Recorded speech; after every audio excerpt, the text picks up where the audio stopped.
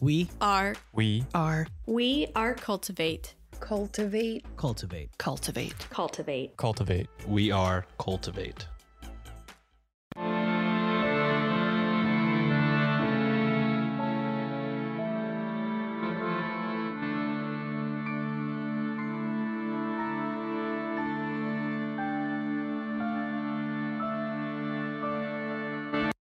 Hello and welcome to Yeo Crime, where we discuss the funny, strange, and obscure crimes of yesteryear. I'm your host, Lindsay Valenti, and with me is my sister and co host, Maddie Stengel. Hello. Hi. How's it going? It's going. Yeah. Okay, so it is a new month, which means it is time to shout out our amazing patrons. So thank you, thank you, thank you to Shinifer and Tom for continuing to support our show. Both Mhm. are amazing, and the goats. Absolutely. Thank you both. And if you don't know what goat means, it's the greatest of all time. hmm It started as a sports reference. Go sports. and then pop culture was like, we like that. It's ours now. They're like, that's hilarious. I'm going to take this. Yep. I also want to give a special shout out to Juno Jewel over on Instagram for their amazing drawing of the three lion cubs in a trench coat. Essentially, it's our first ever fan art, and we couldn't have been more thrilled with the first one that we ever received. And I will share it on social media in case you did not see it as part of our Instagram and Facebook stories. It's pretty amazing. And I love it. So thank you, Juno. No, it's incredible. I was so excited because I had that, I had it in my head and I couldn't figure out how to make it come to life. And you did. And that was awesome. So thank you so Mhm. much. It was really well done. On that note, are you excited for this week's topic, which you know nothing about? Maybe. Depends on the topic. I'm cautiously optimistic. I picked something that you have said in the past that you enjoy. So Okay. This week we are going to be discussing confidence woman Mary Carleton, aka the Grey Widow. Ooh. Okay. Okay. Confidence woman. All right. So I like a like- con artist. Yeah. Let's do it. Just, ooh, if she was a uh, con artist that's routinely a widow, she murdered a ton of people, huh? but it's a gray widow.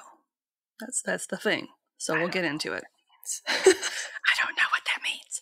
I will explain. Gray means she got them killed. No. gray means weird area. yeah. All right. Information was pulled from the following sources: a 2018 Ranker article by Genevieve Carlton, who we have done lots of work with in the past. She's So much lovely. work. Yeah. Way to go, Genevieve. You are probably one of our top contributors on this podcast, whether you know it or not. You're like a third co host. pretty much at this point.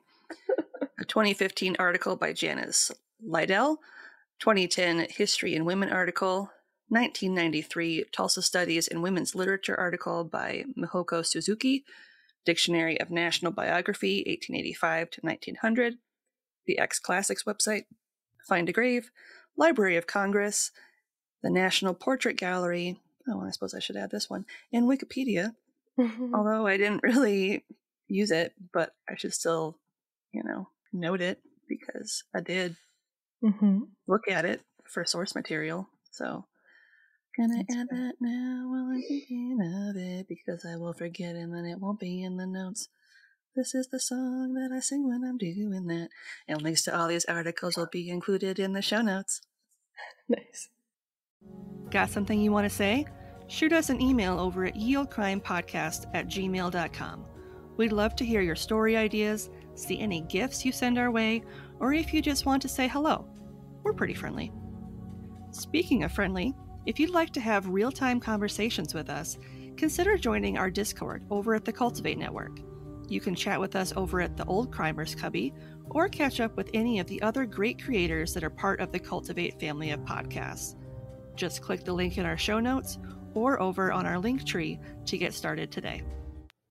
Mary Moders was born on January 22nd, 1642, in Canterbury, England, the daughter of a chorister slash fiddler of the Canterbury hmm. Cathedral in Kent. Nice. So kind of a fun, a fun kind of creative family. Sounds like Yeah. musical family. Musical. Many sources say she was actually born on January 11th, while others say it was as late as August 11th. And even in a book written about her, it says she was born as early as 1634 or 1635. Ah, the tale is old as time. How old is this woman? I don't know, because we didn't care enough about her to officially record her birth. Yeah. I'm going to go based on her word, although, as you'll soon come to learn, it isn't worth much. yeah.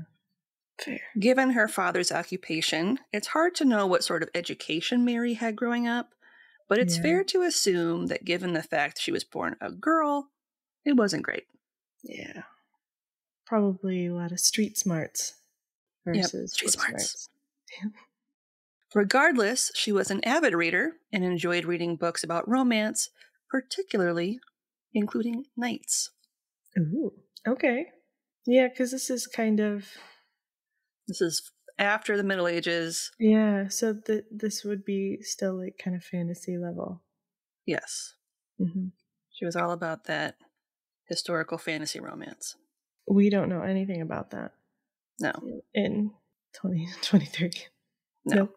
Can't relate. Even though Mary likened herself to a princess, or at least wished to be one, don't we all? Mm. Yeah. Instead of marrying a fanciful knight, she married a journeyman shoemaker named Thomas Stedman. I mean, close enough. He could make her some glass slippers, I'm sure. I'm sure. I don't think they'd be very comfortable, but Probably not, but he, He had the skills.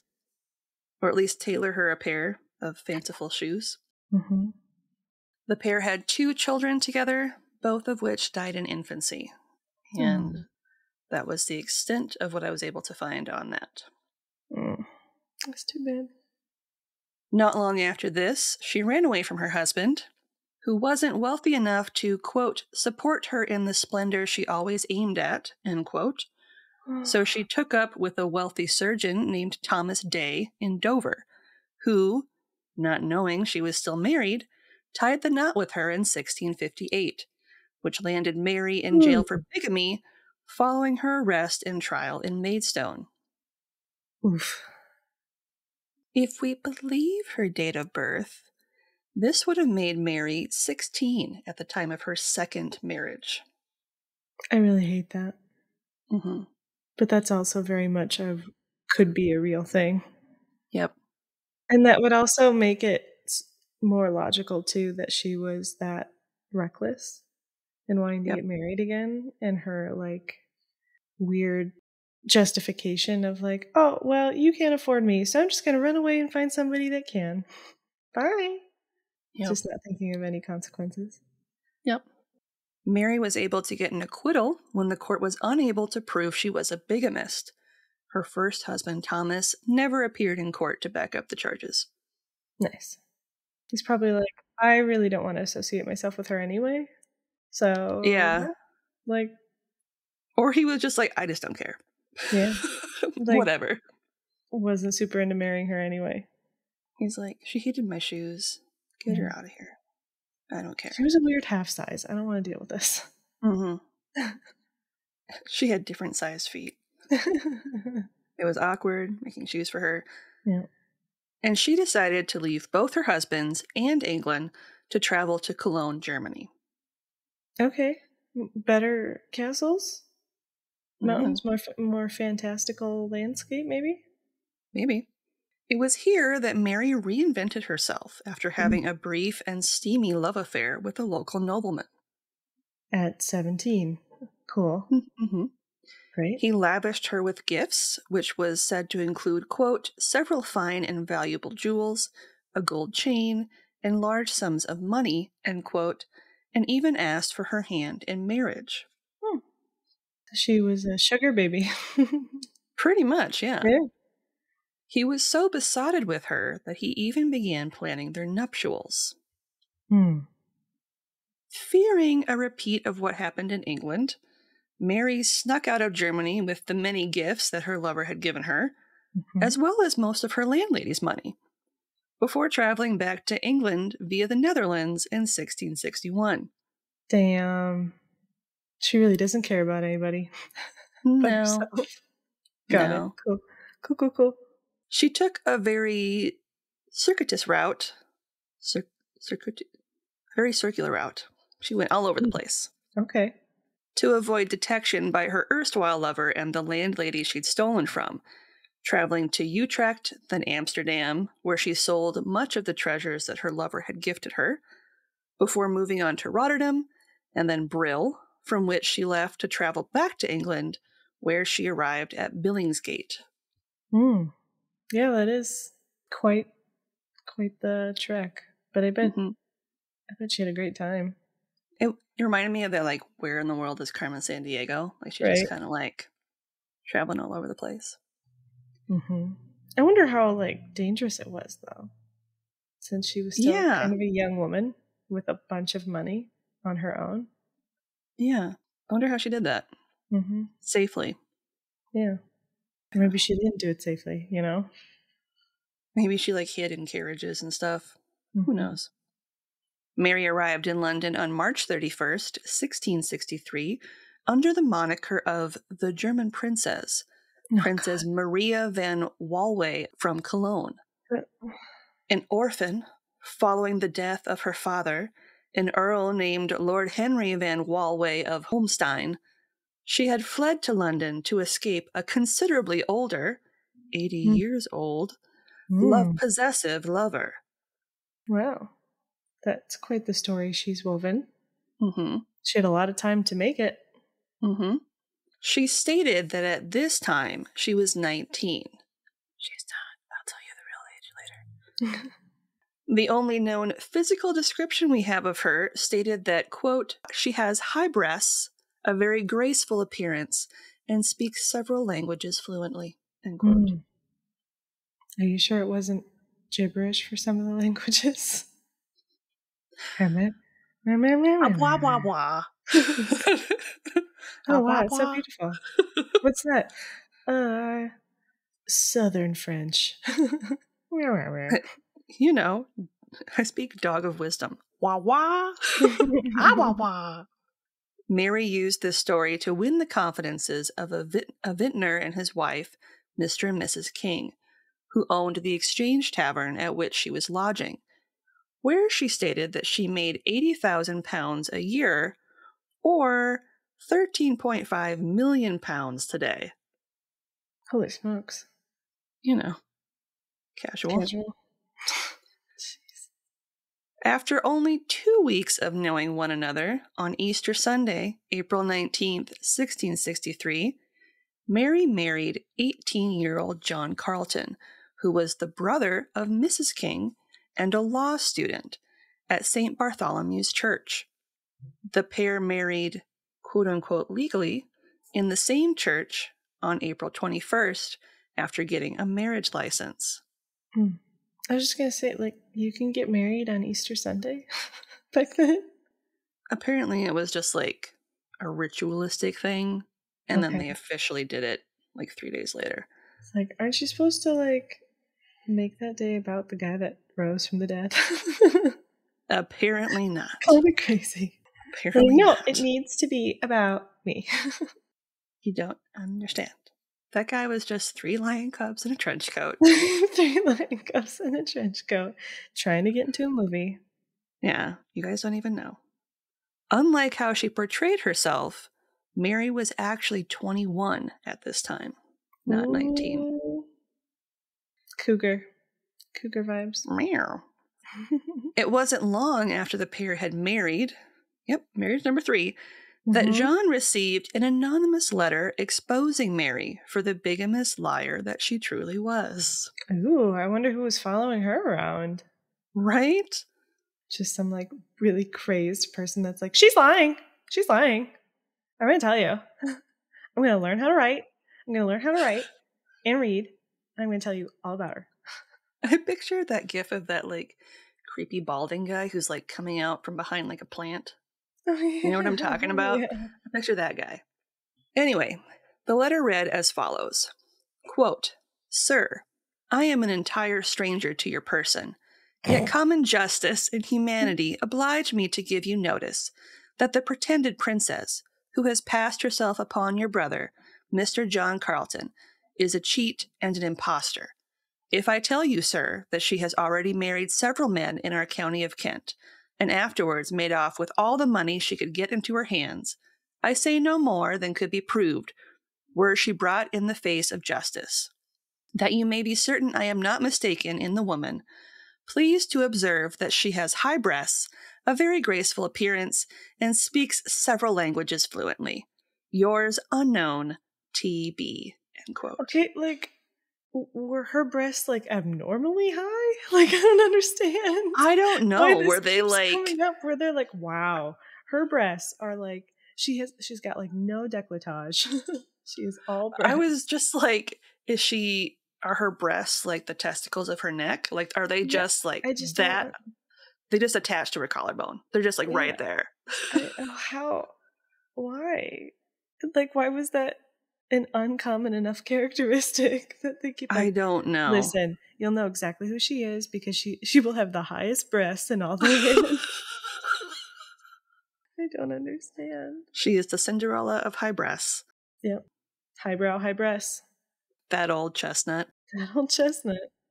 So I misspoke. This letter was sent to Mr. King, so John's Mm. brother in law, Yeah. not John.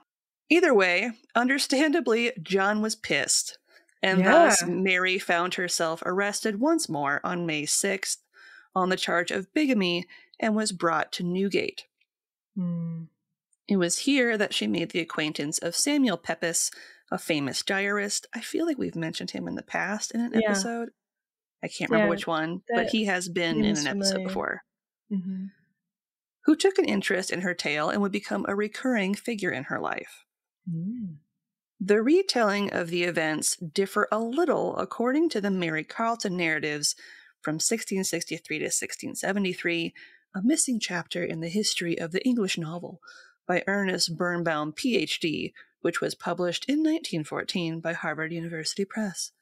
In it, Ernest states that a friend of Mr. and Mrs. King was suspicious of Mary, and he wrote a letter to his acquaintance in Dover, where she married the surgeon, Mm-hmm. to inquire about her. It was at this point that he received the following letter Quote, Dover, May the 4th, 1663. May the 4th be with you. Sir, this morning I received your letter, dated May the 2nd instant, and accordingly have made inquiry. By what I can discover, it is a gentlewoman that is the greatest cheat in the world. She hath now two husbands living in this town, the one a shoemaker named Thomas Stedman, the other, it says Chirurgian, but I'm pretty sure it's supposed to be surgeon, named Thomas Day. She was Mm. born in Canterbury. Her maiden name is Mary Modders, or Moders. Her father was a musician belonging to Christ Church, Canterbury. She was lately in Dover Castle a prisoner, taken out of a ship bound for the Barbados, where she cheated the master of fifty pounds.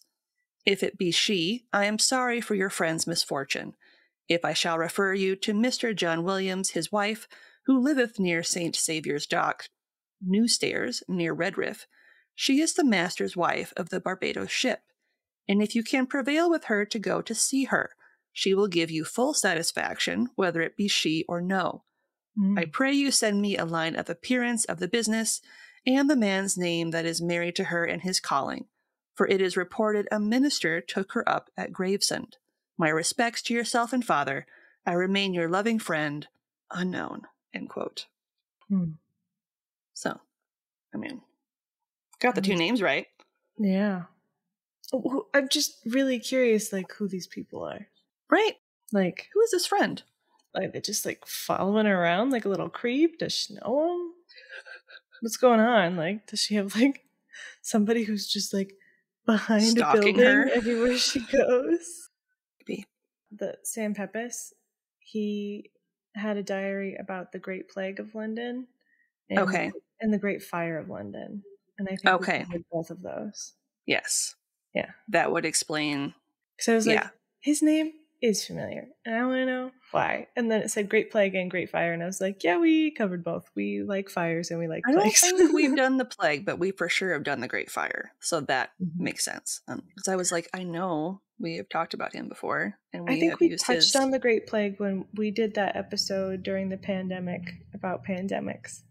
Yes, but we haven't fully gone into it yet. Yeah. It's on my list. It'd be a month of episodes at that point. Yeah.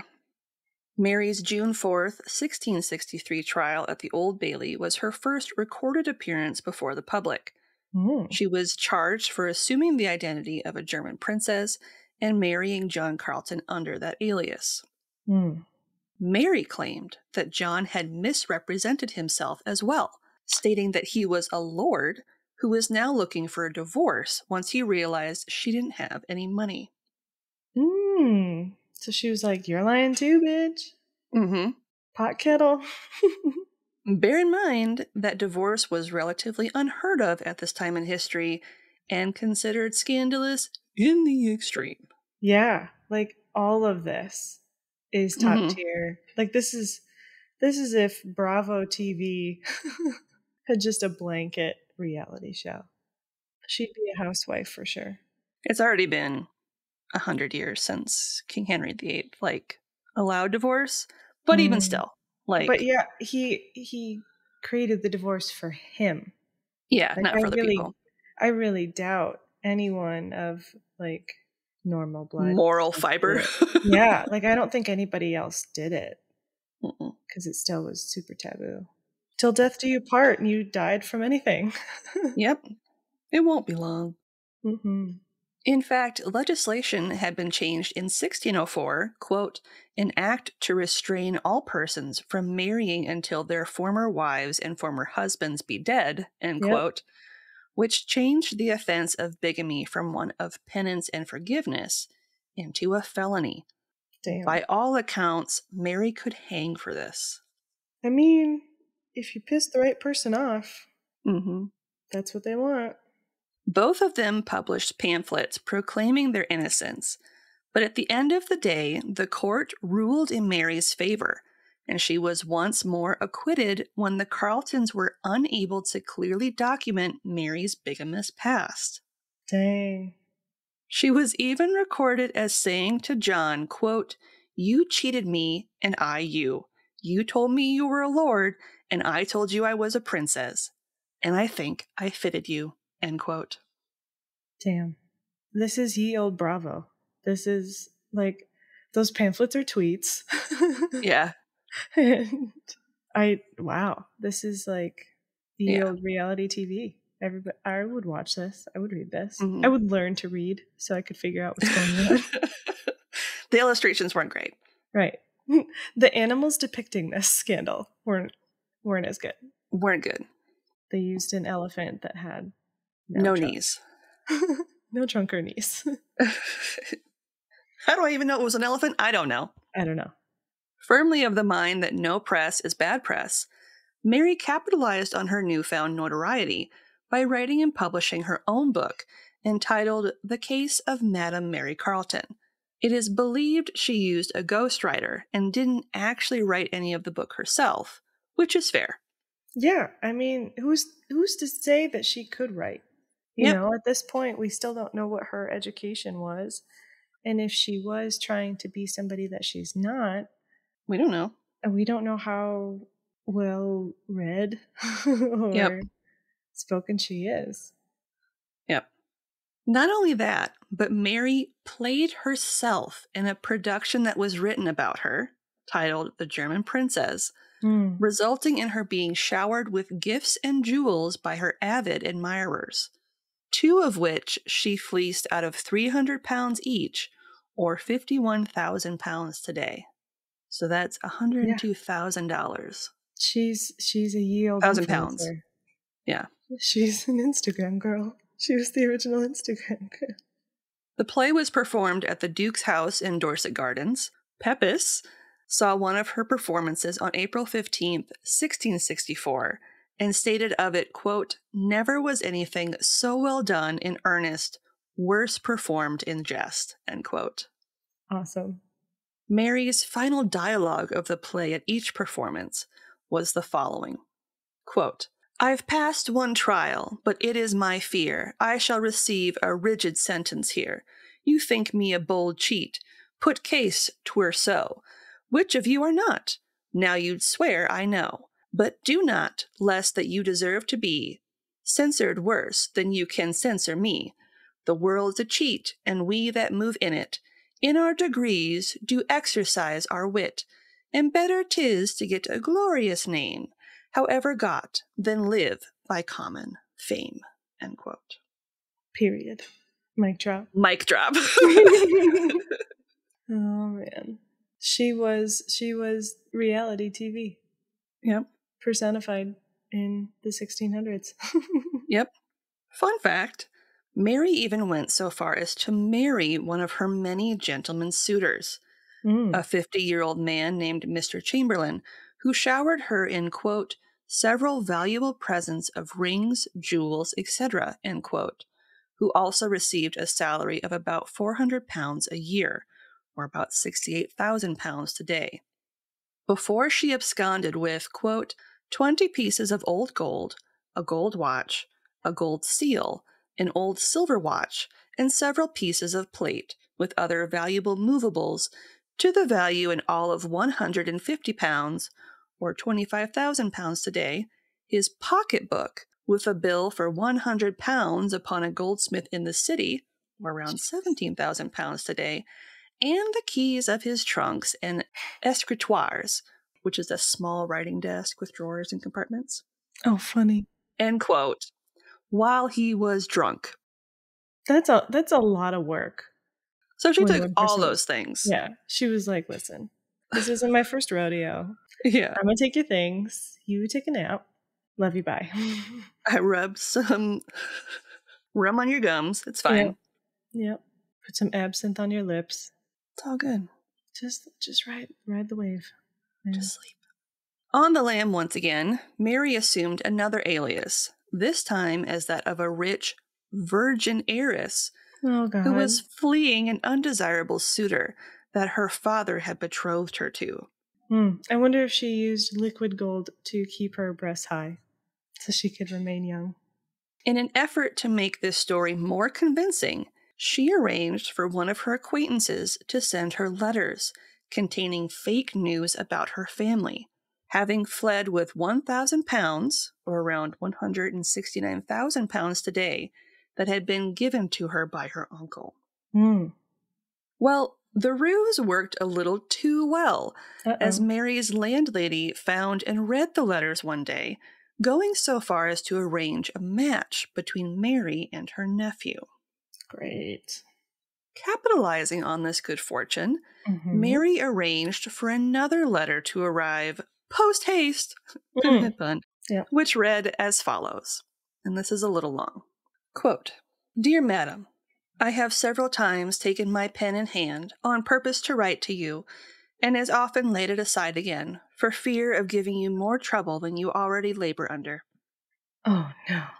However, as the affair so immediately concerns you, I cannot in justice hide what I tremble to disclose, but must in duty tell you the worst of news, whatever may be the consequence of my so doing. Oh no. Know then that your affectionate and tender brother is dead. I am sensible how dear he was to you, and you to him.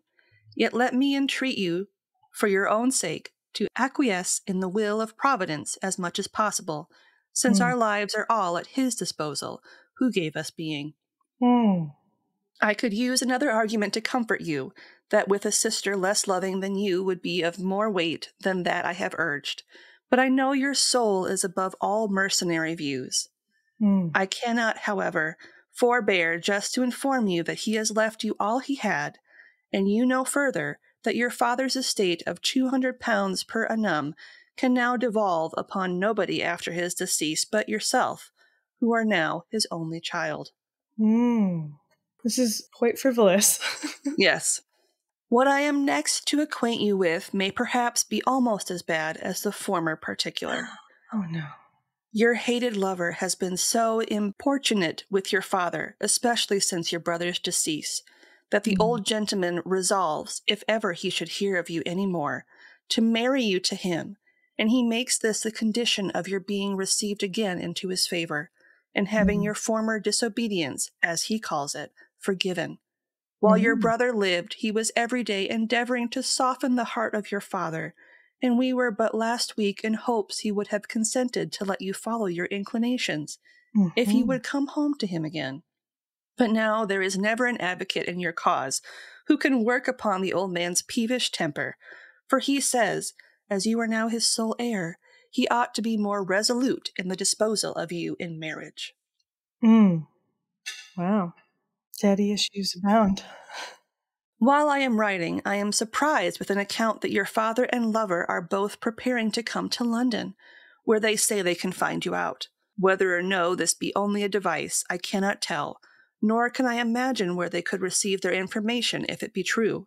However, to prevent the worst, consider whether or no you can cast off your old aversion and submit to your father's commands. For if you cannot, it will be most advisable, in my opinion, to change your habitation.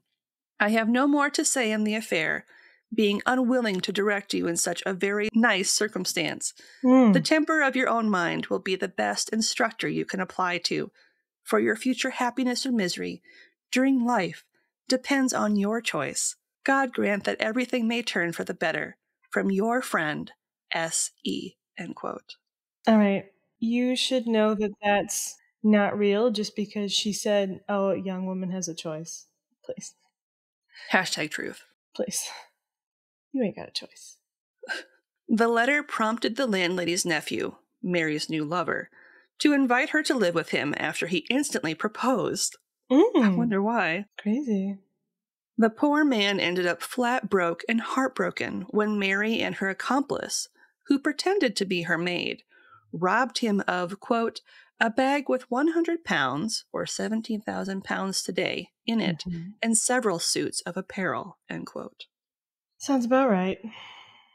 Mary continued this bait and switch tactic of being a rich virgin heiress for the next decade. How? I don't know. Jeez. frauding several men and landlords out of their fortunes with the aid of her quote unquote maid, earning herself the moniker of the Grey Widow, as she didn't wait for her husbands to die before choosing to remarry. Hmm. Got it. That's where that comes from. Gray, not black, because they were still Mhm. alive. They're still kicking. Mm. The main reason she got away with it for so long is because many of the men she tricked were far too embarrassed to admit that they'd been duped and robbed. Yeah. I bet. It's like older men, proud men. Mm-hmm. And although she was accused several times for her crimes, she was always only jailed for a short time before being released to do it all over again. Mm-hmm. The first offense that actually stuck was when she decided it was a smart idea for her to steal a silver tankard. Think of like a beer stein. Okay. For this crime, she was given the death penalty, but the sentence was commuted to deportation and imprisonment at a penal colony. Damn. You take a beer stein. She, she like tried to pseudo marry a million people, and they're like, no, just don't. Okay. Slap on the wrist. She steals a beer stein, and they're like, death. Because it was pure silver. Instant That's death. more important. That's more important than men's Mary. fragile egos. Hmm. Mary was sent via boat to Port Royal, Jamaica, in February of 1671. While there, it is said in a couple sources that she was employed as a sex worker, but I doubt Hmm. that's the case. I think that was just kind of If anything, she could do yield OnlyFans where her high breasts get painted for money. totally, Mm-hmm. totally. Right? She'd be like, listen, my breasts are super high. Paint me like one of your French girls. I am in a French colony. let's just let's just do this thing. hmm I have a ship to catch. Yeah, well, all those settlers in France would, or in Louisiana would have loved to have her high breast photo Oh my god, on their so mu- in their- much. just pasted in their mud huts the ye old man caves. with with their Who's wives that high breast hussy?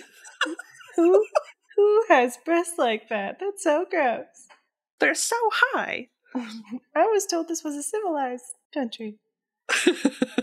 she was somehow able to return to London two years later after either sneaking or conning her way onto a ship, once again portraying herself as a rich heiress. It was probably conning, because I feel like if she snuck on the ship, it would have been worse. Like she probably would have died. Mm-hmm. Her latest ruse ended with her marrying a wealthy apothecary at Westminster Abbey. Like all the others, she robbed him blind of 300 pounds, or around 54,500 pounds today, and then she left him. Mary's life of crime finally caught up to her in December of 1672 when she was caught by a man named Mr. Lowman, a turnkey, or prison guard, at Newgate, on behalf of another man named Mr. Freeman, whom she had jilted in the past and who had hunted her down in order to retrieve his stolen property. Yeah. There are some men who don't forget. Nope. Because they probably weren't as well off as the others and Mhm. really needed that money. Mr. Lowman tracked her down to a home in New Spring Gardens, followed her into her room, where he found letters regarding her exploits, recognized her, and took the letters and her to the Old Bailey. Mary was brought to trial on January 16th, 1673, at the Old Bailey, where it came to light that she had returned to England from the penal colony in Jamaica without permission, after confirming that she was, in fact, Mary Carleton. Uh-oh. She tried to stay her execution numerous times, even pleading the belly, or that she was with child, which a jury of matrons confirmed was a lie. Mm. That would have been really invasive and horrible. Yeah, but that wasn't uncommon. They did that a lot. I know. I just shudder to think of what I they know. did to prove that. I know. They didn't have yield first response. No, clear, clear blue. no. Mm. Pee on this stick. Hmm. This information, paired with her numerous crimes, resulted in her getting the death penalty. On January 22nd, 1673, Mary was taken via cart from the Old Bailey to Tyburn, where she told the crowd that, quote, she had been a very vain woman, yet she hoped that God would forgive her as she forgave her enemies, end quote, Mm. before she was executed via hanging. She is buried at St. Martin in the Fields churchyard in Westminster, London. She was 31 at the time of her execution. Man. She had a really crazy 16 years. No shit. And she got away with it. She got away with a 16 lot. years. Yeah. Yeah, she's quite the probably one of the most ridiculous adventurers we've heard of to date. hmm At her burial, a couplet was sung about her and later written on her grave that reads as follows quote, The German princess here, against her will, lies underneath, and yet, oh strange, lies still. End quote. Later that same year, Francis Kirkman wrote a fictional autobiography about Mary's life entitled The Counterfeit Lady Unveiled. Mm, And that is the story of Mary Carleton. nice. I thought you'd like that one. Yeah, that's crazy. She that's kind of the first iteration I've heard of of a commoner becoming kind of a sensation of that caliber, you know? Because, But- Y'all, this is why we like reality TV. Because, I mean, we had Princess Caraboo like way, way back when. yeah.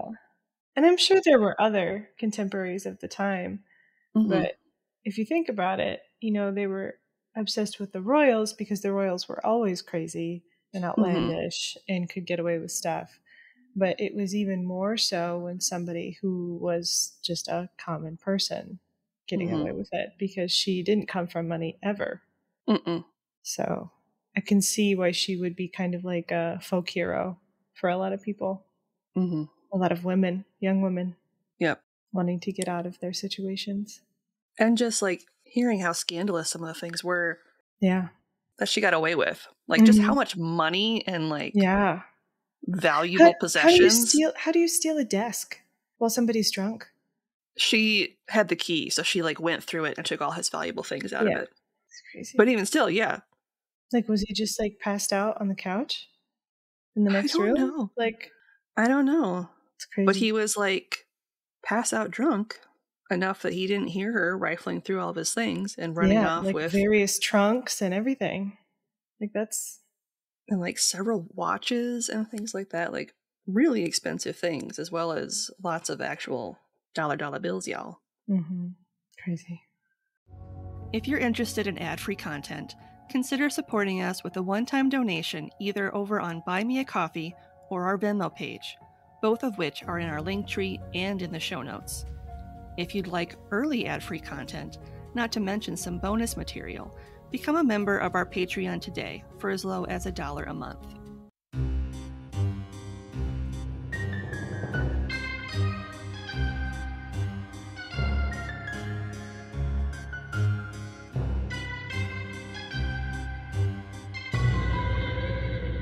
Well, hello there.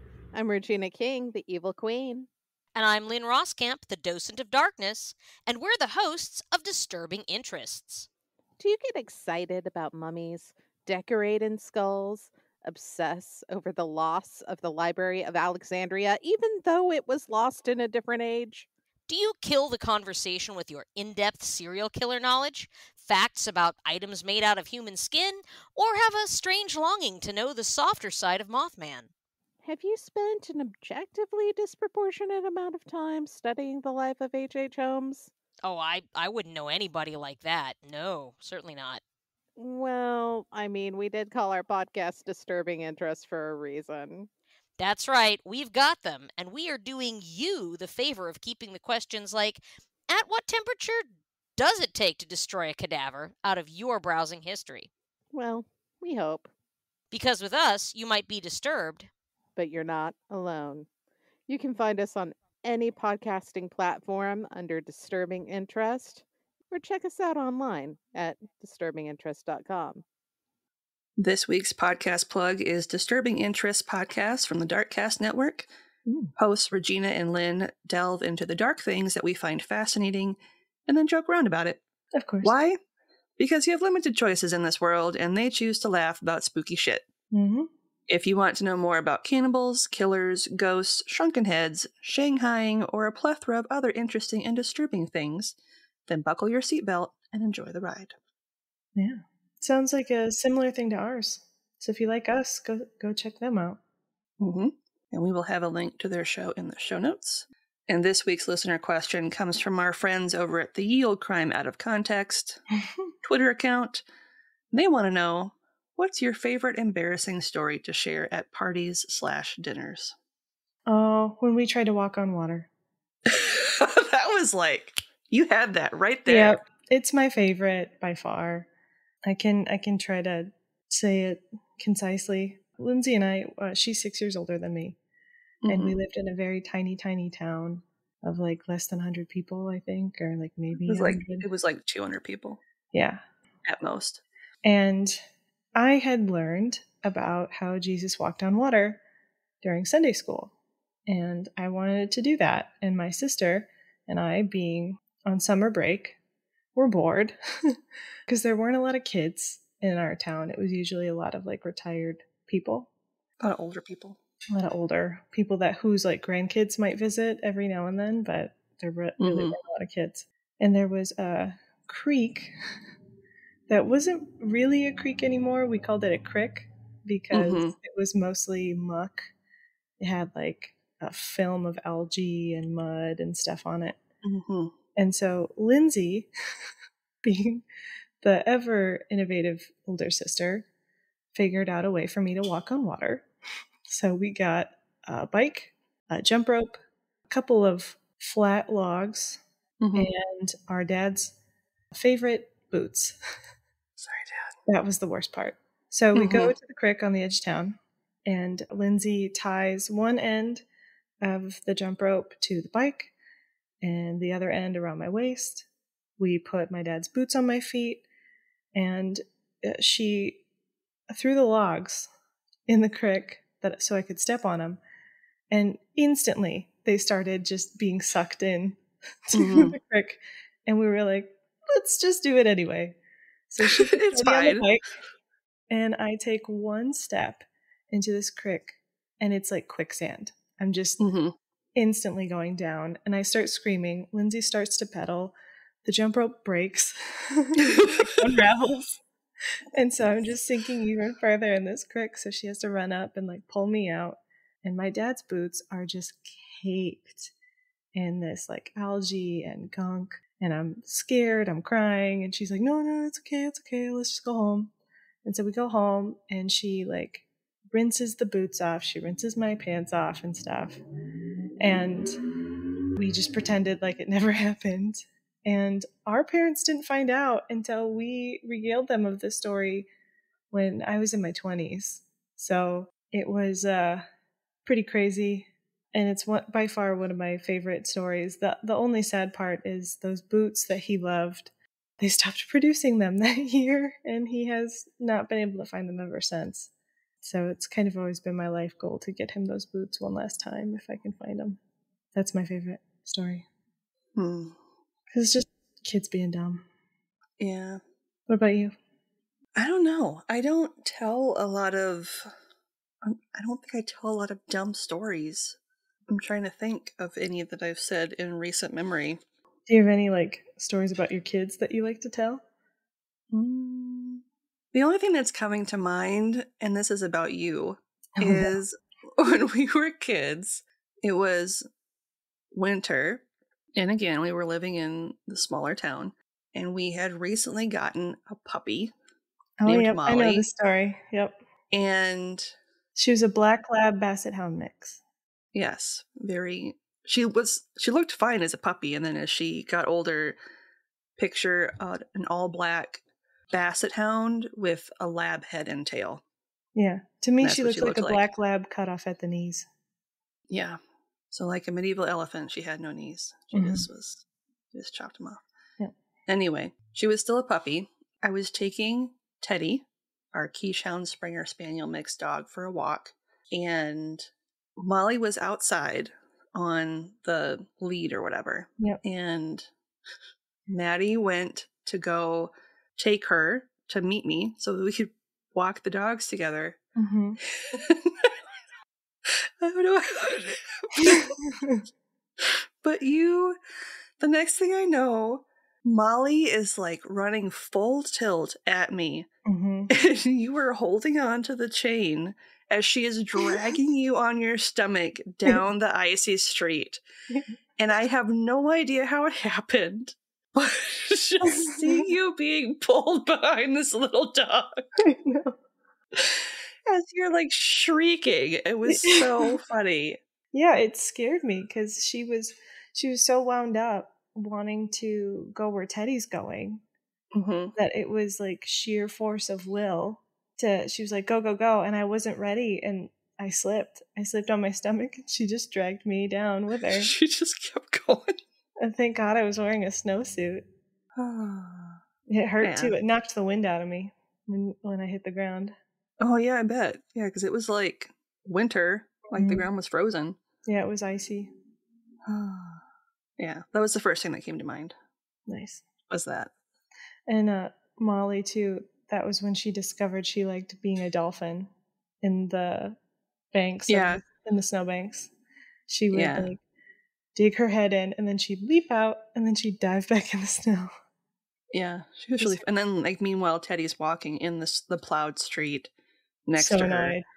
so annoyed. She's like, "Jesus, I hate this dog. she really This did. dog is so freaking annoying." She hated She, she, she was so mad at her. I She's like, "I hate you so much. She's like, I have a good thing are going. so annoying. Why are you here?" Mm-hmm. All right. We are running low on listener questions, so if you would like to send us some, I did create a Google form. Just go to bit.ly slash capital A and ask, and then YOC all in caps. We will have a link in show notes, also on social media if you would like to submit your own questions. Nice. And on that note, what's something good you'd like to share?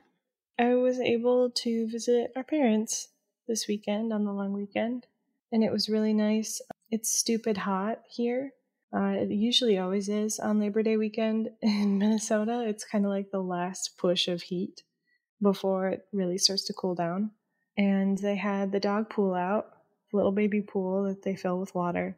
And Willie has been having some really bad allergy issues. He's got a pretty bad hot spot that we're trying to fix. And the look of pure joy on his face when he saw the pool and he was able to lay in the pool all by himself. The other dogs let him left him alone and he got to play ball outside and be in the baby pool, which was his like ritual when he was a puppy. And we first, well, puppy, he was two when I got him. But that was like his favorite thing to do for years and years and years and years was to go to my parents, play ball in their fenced in backyard and lay in the pool. So he got to do that and he had that like Hmm. adorable little smile and it was very nice. It's nice to see my grumpy old man still be a puppy every now and then. Mhm. What about you? Trying to think. The girls go back to school this week, Nice. which is good. The house will be quiet during the day when I'm working. hmm Did you get all your back to school stuff? Brand new Yep. clothes and everything? Yep, we are good. Nice. One thing is over the holiday weekend, we went to my favorite place, IKEA, to to pick out an organizer thing for my youngest room. She recently cleaned it and she needed some ways to like organize some of her things. And she was very excited to get an organizer for her room. nice. And I felt super cool because I got that thing put together like in no time. I was just like, wham bam, thank you, ma'am. Here is an IKEA organizer. I'm a So- master with the Allen wrench. Same. hmm We bought a second one to put in the front closet so we can finally organize the front closet. Nice. And I'm going to be so freaking pumped when that thing stops being a hot mess of just. yeah. It'll be good until the winter, and then you'll have to redo it again, I'm sure. The winter coats are so hard. I have a I have a plan. So Okay. if it Nice. works out how I want it to, it's to be pretty sweet. Nice. So we'll see. Anyway, shall we? we shall. Looking for more content? You can find us online at yeoldecrimepodcast.com. If you'd like to see pictures from this week's episode, not to mention bonus content and funny memes, make sure to follow us on Twitter at yeoldecrimepod and on Facebook and Instagram at yeoldecrimepodcast. On TikTok? Of course you are.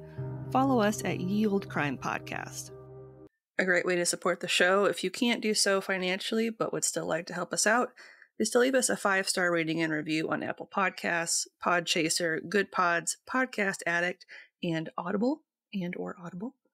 And if you do submit a review, please send it our way and we will give you a shout out on the show because we love you and we like mm-hmm. to do that. If you want a playlist of all our episodes on YouTube, click the link in our show notes or in our link tree and subscribe today for not only a list of our full catalog, but a separate list as well, just of our Can You Crack the Cramp Word segments. And on that note, as always, I'm Lindsay, And I'm Madison, and we'll see you next time with another tale. As old as crime.